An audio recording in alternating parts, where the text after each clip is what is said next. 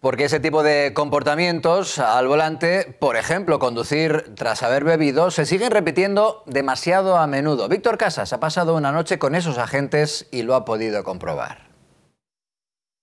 Son las 2 y 8 minutos de la mañana de este sábado y en este punto kilométrico 15 de la A6 acaba de comenzar un control masivo de drogas y alcohol de la Guardia Civil de Tráfico.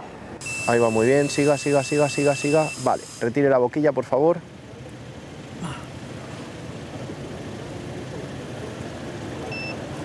Cero, cero, está perfecto. Muchas gracias, que tenga buena noche.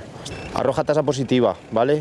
El límite es 0,25, da 0,58. Vamos a ver qué pasa con el evidencial, pero vamos, eh, andará rondando el doble de la tasa permitida.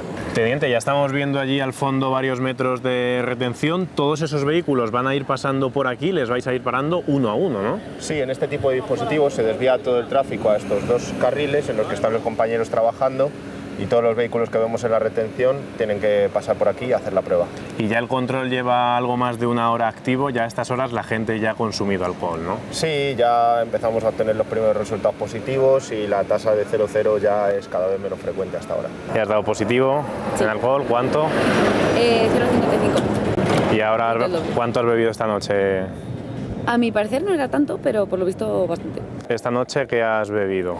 Pues nada, eh, un par de copitas de ron, un par de copitas de ginebra y he bebido, me he pasado, sí, me he pasado un poco. El chico de la droga ha dado positivo en cocaína y opiáciro y aparte de la segunda prueba, también positiva por delito. Vamos a pedir número de diligencia para destruir un delito por superar las tasas legalmente establecidas, ¿vale? Pues yo le informo, caballero, si no me presenta ningún permiso de conducir, va a ser investigado, ¿vale? Tenemos aquí un positivo en drogas, una persona que iba sin permiso de circulación. ¿Cuál es el proceder en estos dos casos? Bien, pues en el caso de la persona que iba eh, que ha dado positivo en drogas, además se da la circunstancia de que ha dado positivo por alcoholemia en una tasa superior a 0,60, es decir, una tasa delictiva. Habría que proceder penalmente eh, por el tema de la alcoholemia y luego administrativamente por la, por la infracción de droga que ha cometido.